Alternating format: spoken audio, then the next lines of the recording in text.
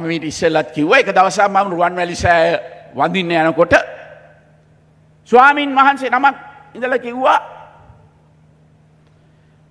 කෝජනාධිපත්තුමා රෙක රට එක නීතිය?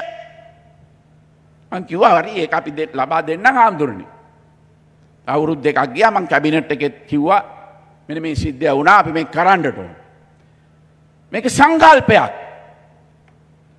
හැබැයි ඥානසාර හාමුදුරුවෝ අද විවේචනය කරන උන්වහන්සේ පත් කරයි කියලා.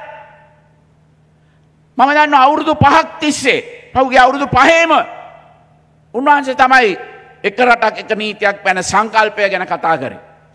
මං උන්වහන්සේට කතා කළ කිව්වා දැන් ඔබ වහන්සේ මේක ගැන අවුරුදු පහක් කතා කරන්න ඔබ වහන්සේ මට හදලා දෙන්න මේ සංකල්පය.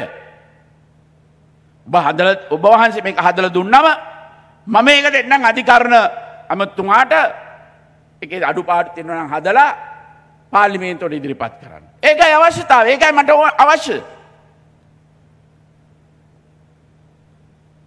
ඒකටත් දෝෂාරෝපණය කරනවා.